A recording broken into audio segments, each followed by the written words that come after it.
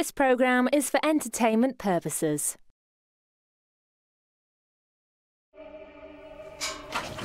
He's here. Satanic rituals, disappearing phantoms, and a lost bride await the most haunted team in West Wycombe.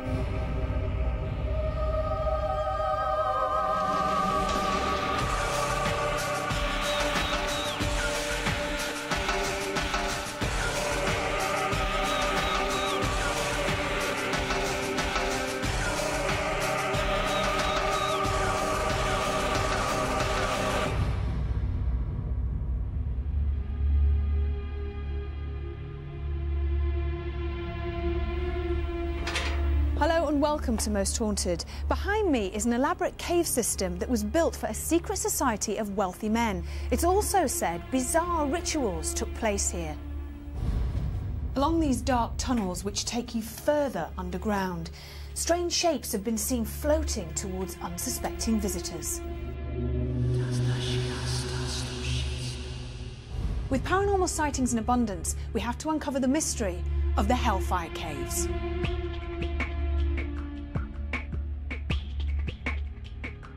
The West Wycombe Caves are a series of tunnels excavated in the late 1740s and 1750s to give unemployed farm workers jobs quarrying chalk to build roads.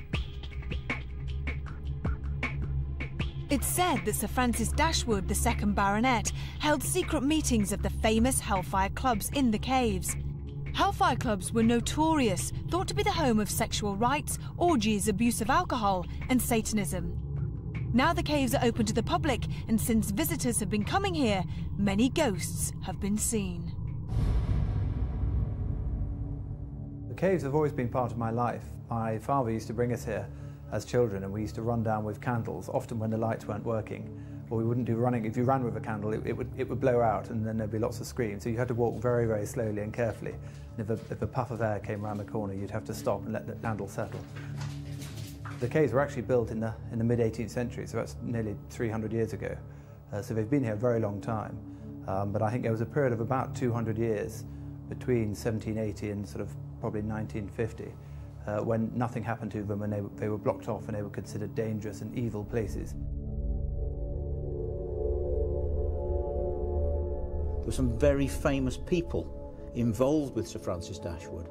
John Hogarth, the illustrator, Paul Whitehead, the famous poet, even the son of the Archbishop of Canterbury, all came down here to join in the Hellfire Club.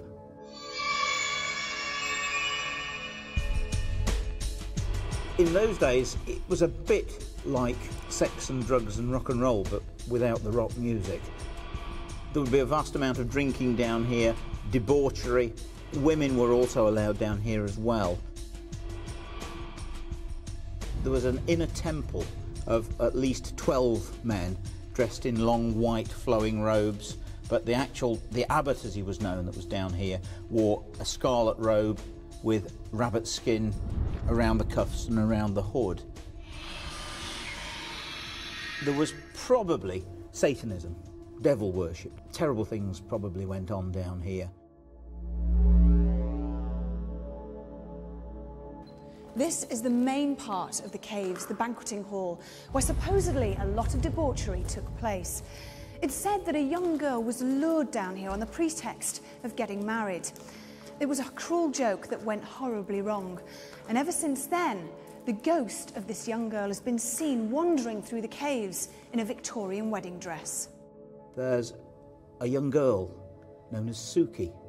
She was reputedly a housemaid at the local pub, the George and Dragon. She was enticed down here by some lads, told that her betrothed was waiting for her. He was going to elope with her, and she came down here wearing a wedding dress. When she arrived, of course, her betrothed wasn't here, just a group of lads. They started to taunt her. She picked up a stone and threw it at them. One of the lads picked up the stone and threw it back. Unfortunately, the stone hit her between the eyes. She fell to the floor, dead. And they say that her tormented soul, her spirit, still wanders down these tunnels.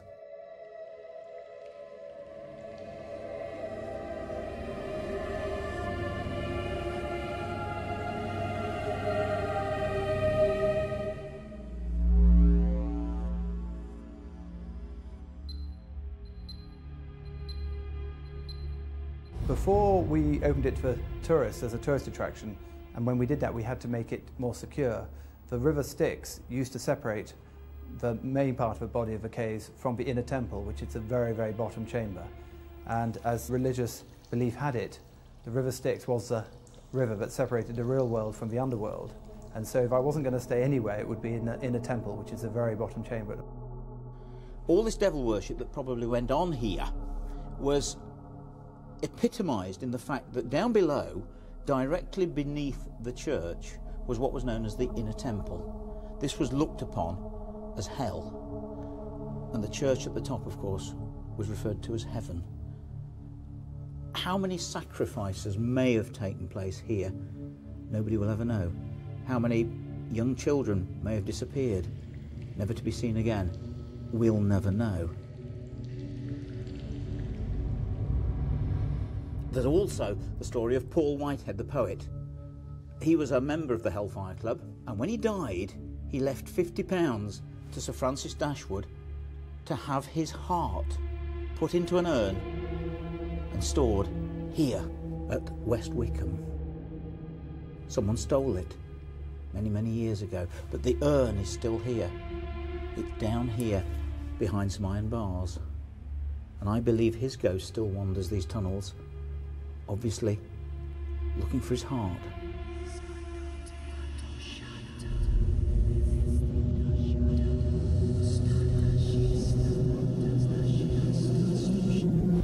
Throughout this amazing structure, the apparition of a man wearing Victorian clothing has been seen following people until he's noticed when he suddenly vanishes.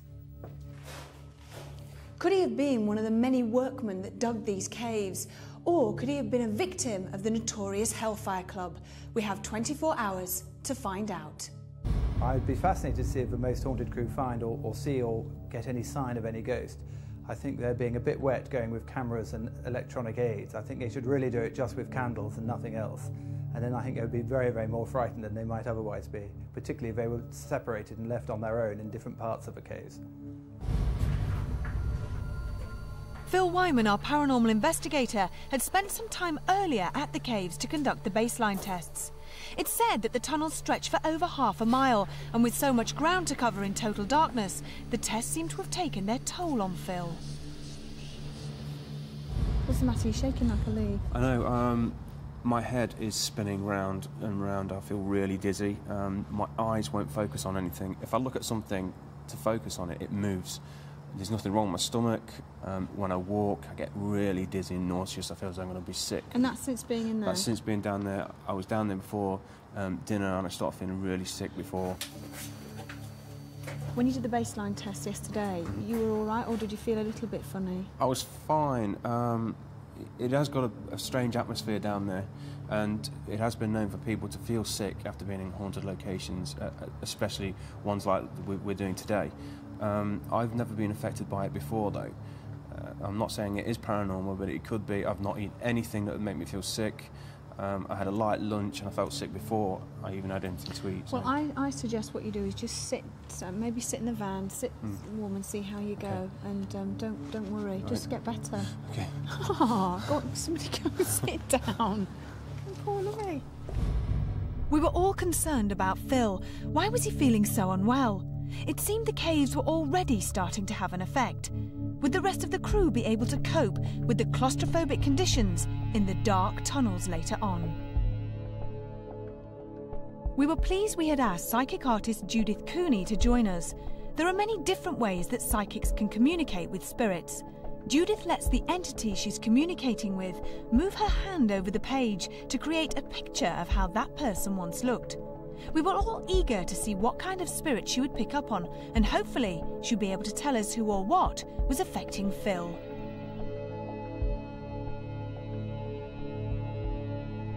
I feel as if he would have been possibly the abbot, um, or uh, I was picking that up, or the master, as he was calling himself. I am the master, mm-hmm. but he didn't actually give me a name or anything as such. And is he, is he active here? Yes, he's very much active here. He's very much um, in control of all the other events that take place here. Is he a nice person or not so nice? I would say a very aggressive person, not a pleasant person at all. I certainly didn't relish the thought of being in the caves with a troublesome spirit. Our expectations were high, and the crew and I were certainly looking forward to our investigation. All day we had been a little nervous, but as the dark sky turned black, we were becoming more and more apprehensive. To help us find out if the caves were definitely haunted, we asked psychic Derek Acorah to join us. Now we were ready to walk the tunnels of the Hellfire Caves.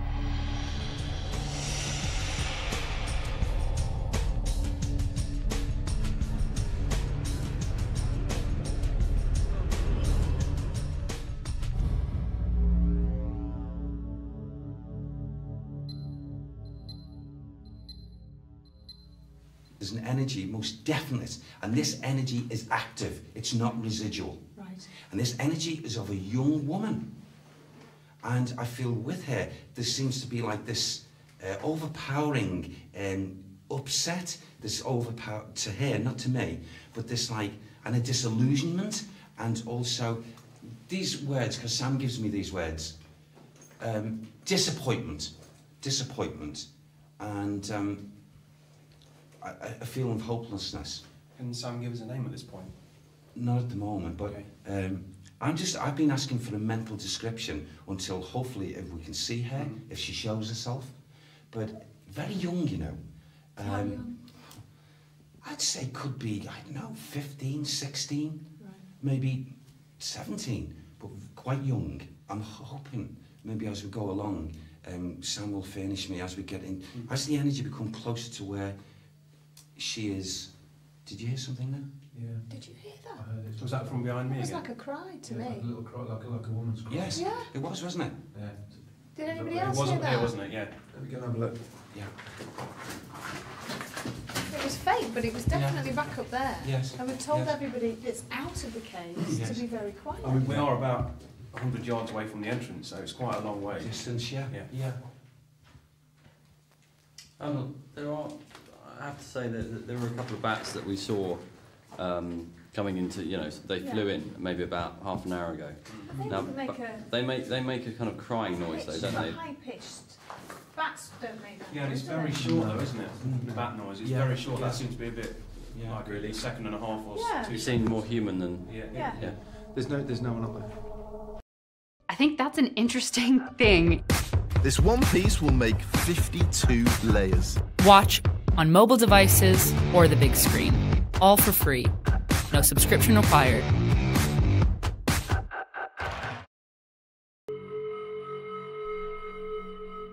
Derek was leading us further down into the caves.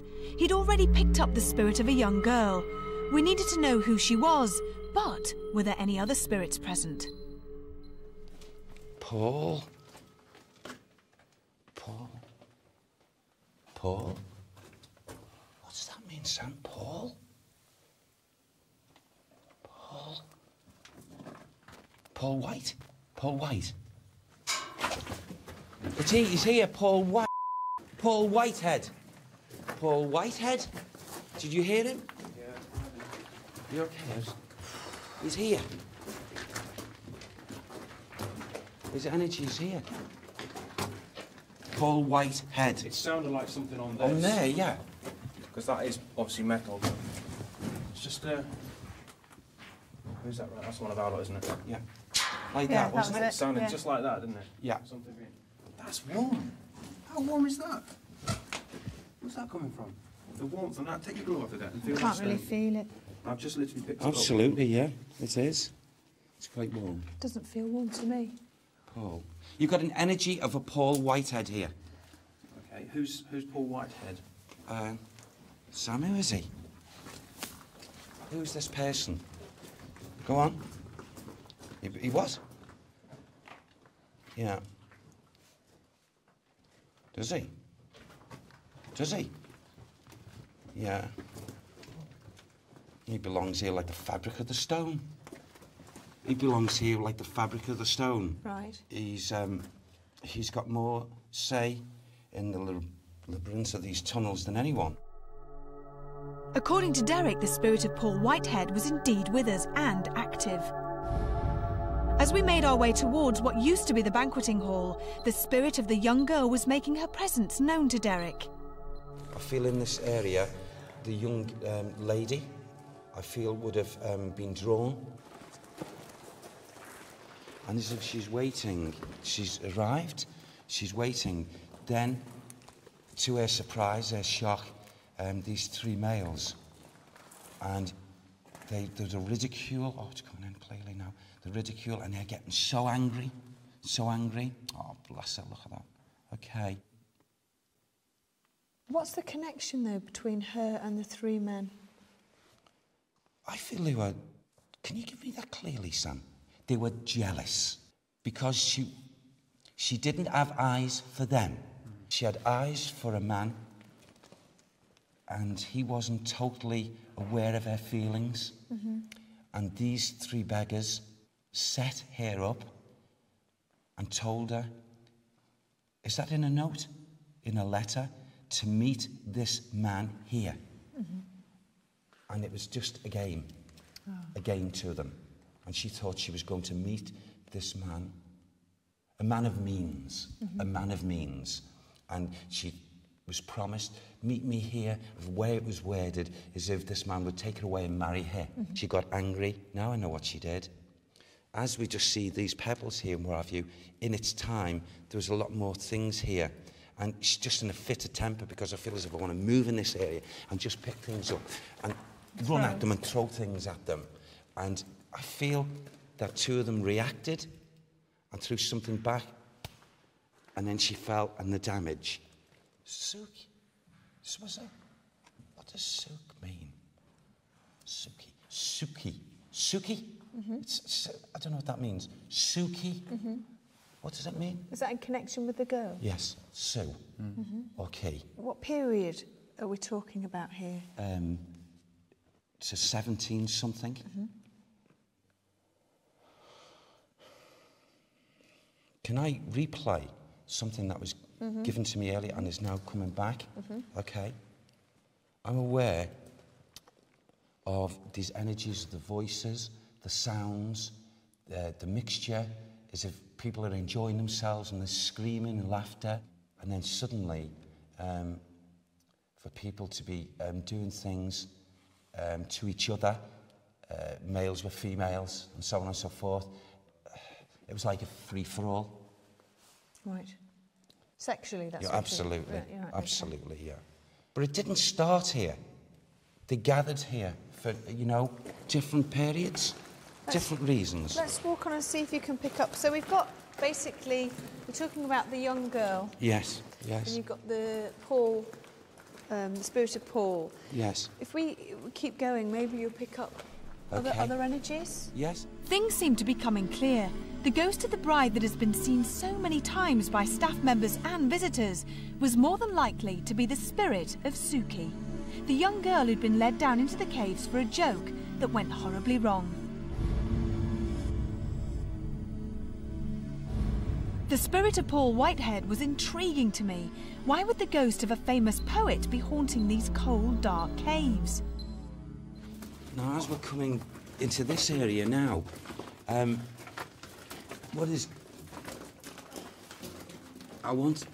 What I want to actually say is now, coming to this energy, that there is a remembrance, a remembrance um, of Franc- Francis. Francis. And I, I believe that's first name. And it's like as if the energy of Paul is looking up to Francis, is, is carrying out, what's that, Sam? Carried out what Francis wanted to take place. And, um, you know what I feel like? I feel like a man without a heart. I feel like a man without a heart if I'm a void of a heart. Is that, you know, physically speaking? Um, I, don't know. Uh, hold on. Oh. Why did you do that, son? I feel someone, someone's had the heart taken out. someone's had the heart physically taken out. I feel that the person whose heart was taken out um, is like roaming this labyrinth of caves, um, coming back and saying, you know, where's my heart? Mm. What's happened to my heart? I trusted my heart to be in a certain place, and it was taken. And who did this heart belong to? Sorry. Who did the heart belong to? Sam? Paul? Paul? Right. What, the same Paul that you picked up earlier on? Sam says yes. Right. Paul? The heart was in a container because it was his wish. Uh, and, and then stolen Oh. and taken. Right. So I feel like that brings his energy of spirit back time and time again. Um, you know, looking, so to speak, you know, in search of this um, theft of his physical part. Okay. So he's, he's still roaming around looking Yes. for his physical heart? Yes, I feel he's, he, he is responsible for quite a lot of this, um, whatever um, activity has been encountered Is he active in these here? caves. If- I feel at times he is, yes. Yeah. Absolutely, he is.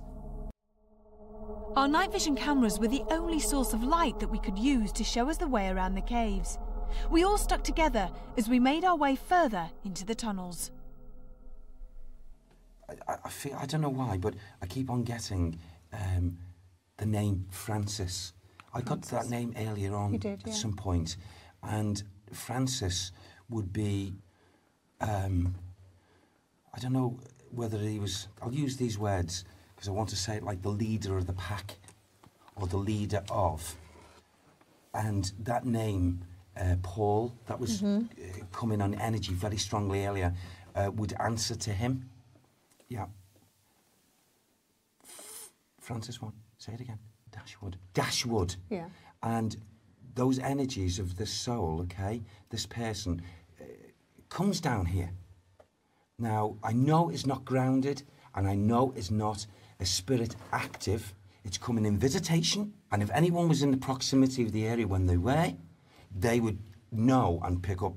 Uh, and also, there'd be a feeling of, um, I suppose, dread. Right. A feeling of dread. You, do, you were feeling a bit... You, you know, you felt sick today. I did feel sick, yeah. How do you feel now? I feel fine now. You do? Yeah, yeah, it's, um, I don't know. What's the matter?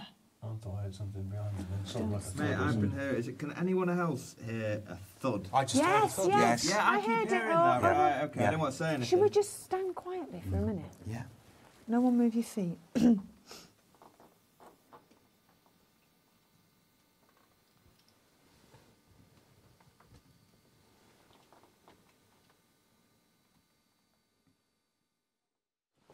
How's everybody feeling? Fine. Okay. Yeah. I feel quite comfortable down here, actually. Do you? Quite surprised. Mm, I've, I've got to admit, I think this location is going to test a lot of people on the crew tonight. Do you? Mm. I mean, I've never been, honestly, I can say that, I've never been to a, a location that's darker than this when No, there's I no haven't. lights on. Mm. No. I don't think I have either, actually, No, while this doing is this. This is the darkest. I have to I have to say though, even though it's that dark, um, doesn't mean that we're going to experience anything more because it's darker. Do you see what I mean? You know That's when I right, say, "Oh, absolutely I think right. it, I think it's going to test us. Yeah. Let's move on. Yeah. Yeah. The Hellfire Caves were so dark and claustrophobic, I couldn't wait to get out. Derek had other ideas. At the very bottom of the caves was the inner temple, where supposedly satanic rituals had taken place. So would Derek be able to confirm that this actually happened?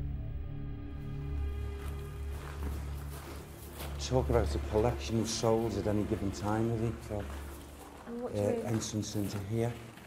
Um, the name which Sam was giving me here, the energies of these souls, hellfire. Yeah. Hellfire is Right. here Right. in this energy. Right. Hellfire. The men, the men, these men used to get themselves, can I use basic words, tanked up with alcohol, and then anything could happen. And this is weird, What? even to me. What? There's energies coming down this passageway, stopping outside, and to look at them, it's like a procession of nuns. Mm-hmm. What is that, Sam? Did nuns come down here? What was the what was the function? Did they come down and pray? They were what? Okay, is that how I say it? These women, okay, were um, came down. I don't know what, what the f- fantasy was, but came down into these uh, levels and dressed in habit and what have you, and they weren't nuns. What were that they? I don't know. They were not nuns. You have to help me with this, Sam. It's like now, as he opens up that um, picture to my mind's eye, it's as if the habits and everything were taken off, and then suddenly they were certainly not nuns, and, and they were dressed up as nuns, but they were. Um, it's like they were here for like prostitution Mhm. and the good time girls. Yeah. And they used the men used to um, ply them with the liquor, and oh, what I saw earlier, I wouldn't really want to repeat, but it was like three men at one given time. Um, uh, how do I use this word? Um, With one woman. With one woman. Right, okay. Well, should we head on back up that way? Yeah, okay. I hate this place.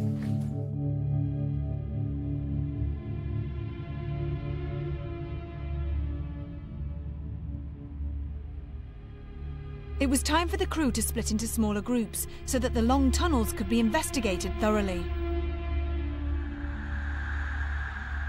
Richard Felix, Phil, Tom, and myself had decided to stay towards the middle part of the caves, where the ghost of a woman wearing a wedding dress has been seen on a regular basis. Now be careful because it I hate this bit. Was that you? That's me. you. I'm-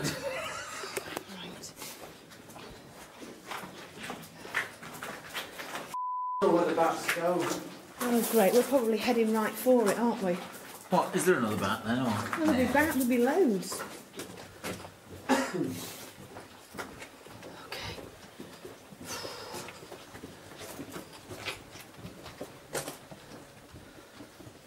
This is. Oh, God.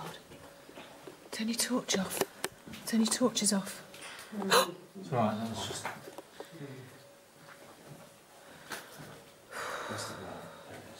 Where are you, Richard? You there? Oh, God. This is one hell of a scary place, isn't Yes. it?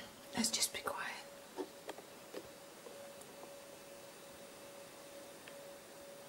Oh. Light anomalies, orbs, or spirit lights are believed to be one of the first stages of a ghost manifestation.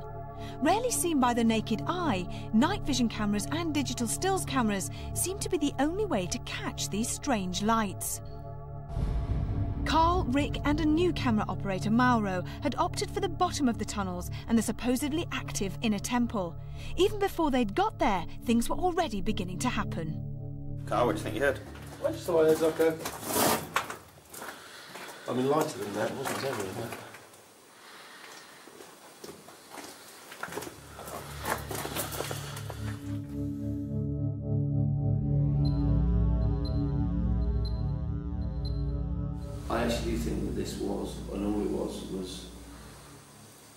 Of extremely rich people coming down and getting drunk and having a party. And having an orgy. And I don't think, I think people have died here. So, Could have been a trick of light. where? From the doorway? What was the torch was? Turn the torch on, right there. It's like a face, but it could it was a circular thing. But the trouble is, we're talking, we are talking about this woman.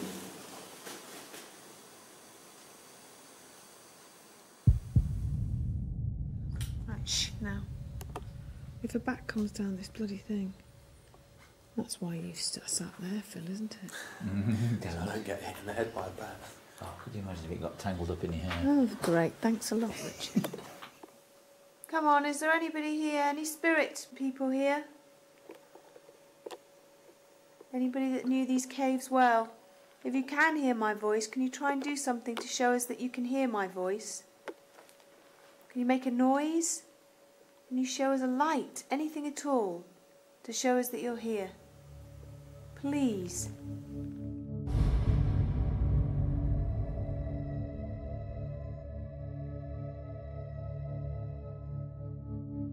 If there is something here, I don't think it's anything serious. I don't think it's anything to be worried about. I think it's everything's more, you know, fiction than fact. It's more stories and mm-hmm. actual events that took place. I just think it's all folklore surrounding the place, to be honest.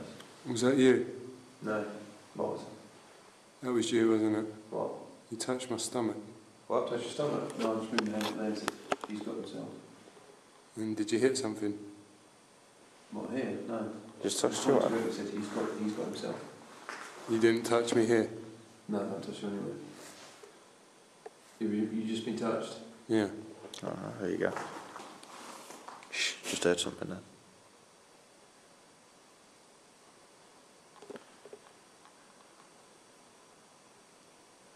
Are you here with us? The inner temple was a scary place, not just because of the mannequins. It was the thought of the satanic rituals that had taken place many years ago. I wanted to experience something paranormal in this dark chamber.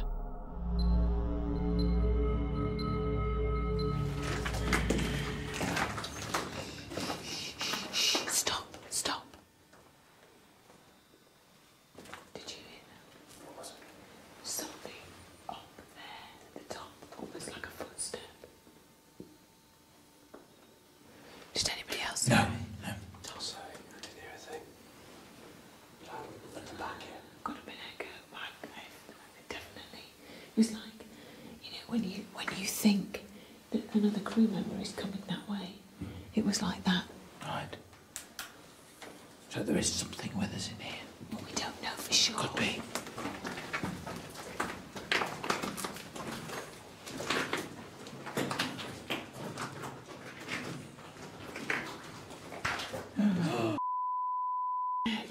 Look at them. I didn't even know we were there. I didn't even know we were this close.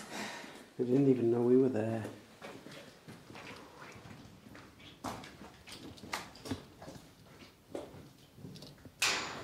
It was me.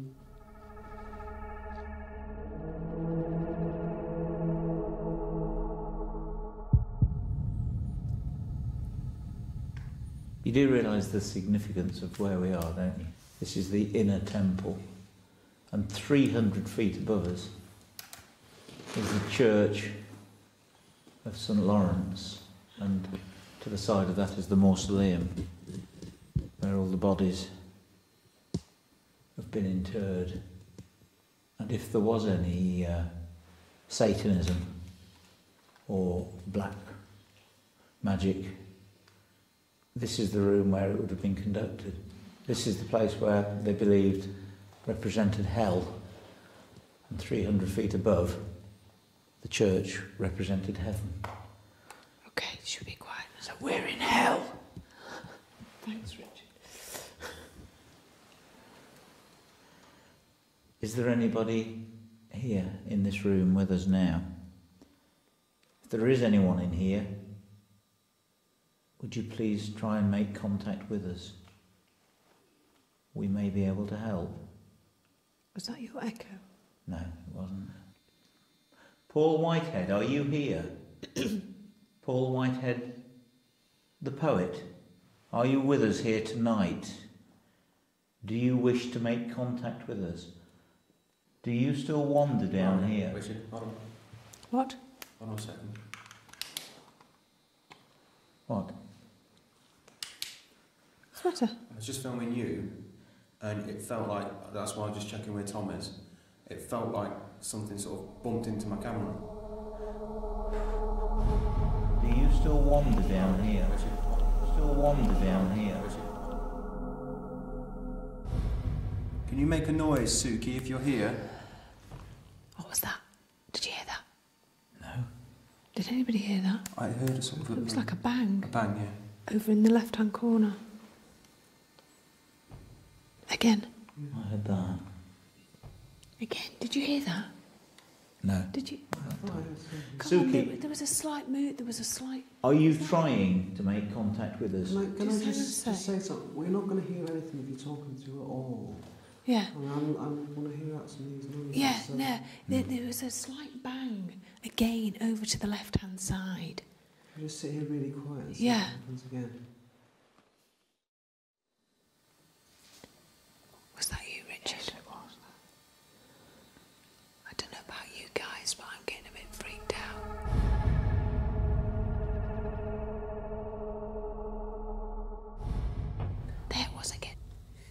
Did you hear that, Tom? It was a, again, it was a muffled one. It's coming from that corner. It's like a slight bang. What if, what if one of us went over into that corner? What's the matter? What's the matter? Something weird noise just then. Well, What? here. No, no, no. It was it wasn't anybody's feet. It was like something like that.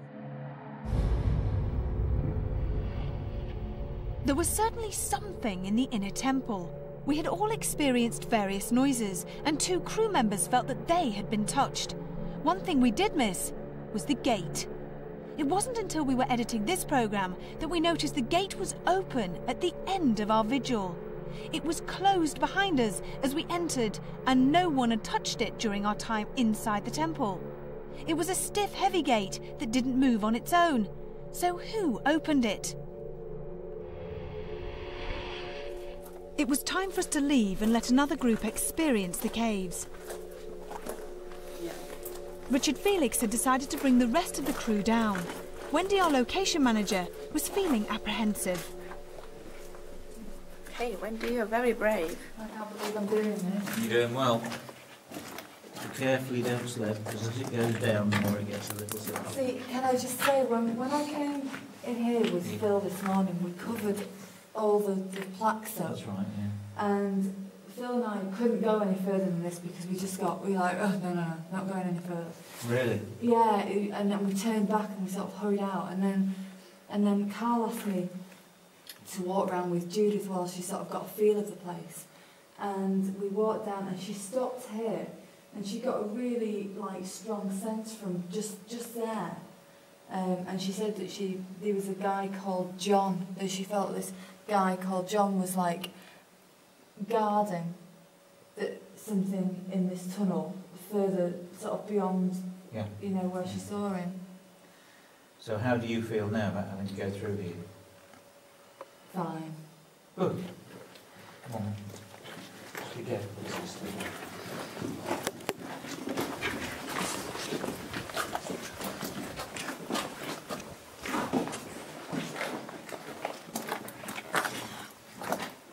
That's it. Yeah. That wasn't, that wasn't locked before, was it not? Yeah, it's not locked, it's just... Uh, oh, Hello guys, we're back. He's the one I don't like. Use what? Sorry. The one I don't like. Really? Which one's that, Richard? The one that's looking at us. He gives me the creeps, as does the monkey behind Cam. The baboon. I've just seen an orb.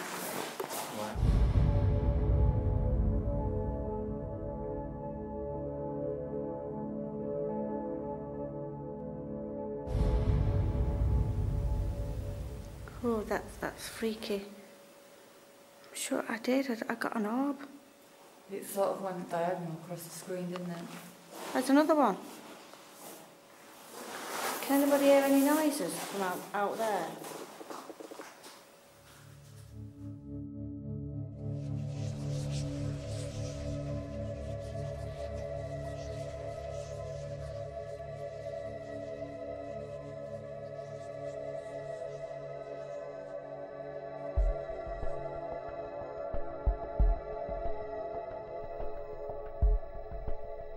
Nothing of great significance was caught in the tunnels. Most of the activity did seem to be centred in and around the inner temple. So, does that mean the caves are haunted? It's been a long, hard night. Um, our expectations were great. My expectations were great. And I think we've pushed ourselves um, a lot more than we probably do on others because of the incredible venue that we were in. And we continued right to the end, going back over and over again in the vain hopes that we would eventually see something or capture something. I must admit, um, when I knew we were going to do the Hellfire Caves, um, my expectations were quite high of uh, capturing some paranormal activity. The place is very eerie, it's got quite a lot of history connected with it.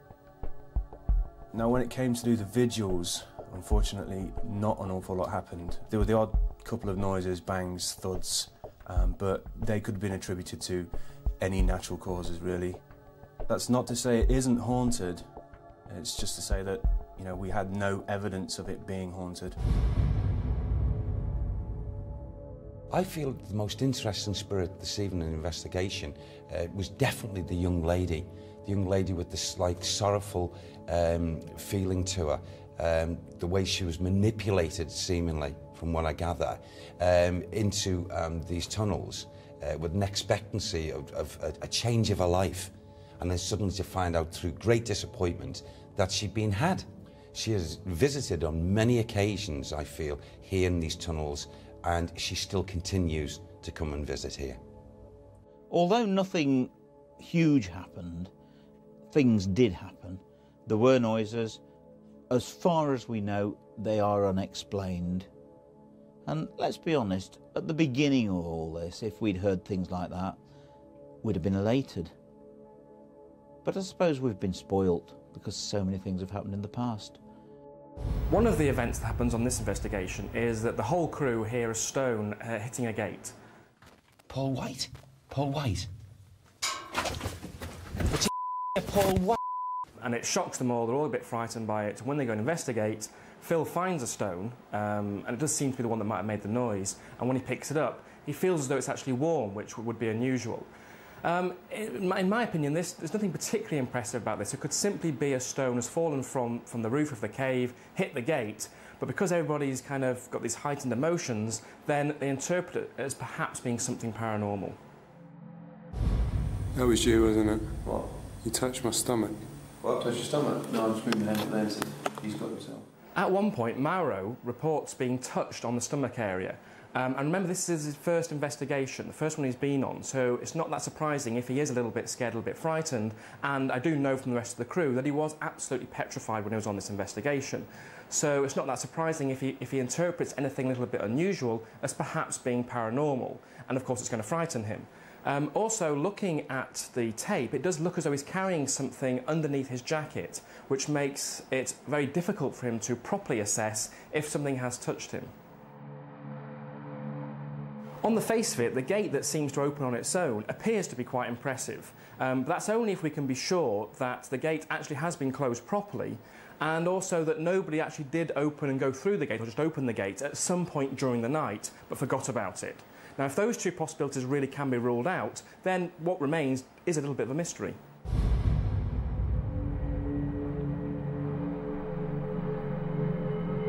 The West Wycombe Caves are not a place for the faint-hearted.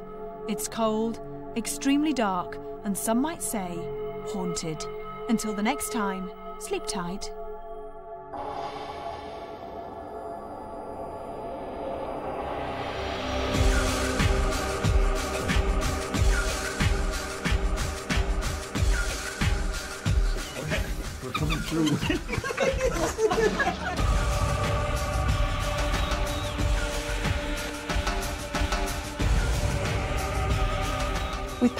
Sightings, did you hear that?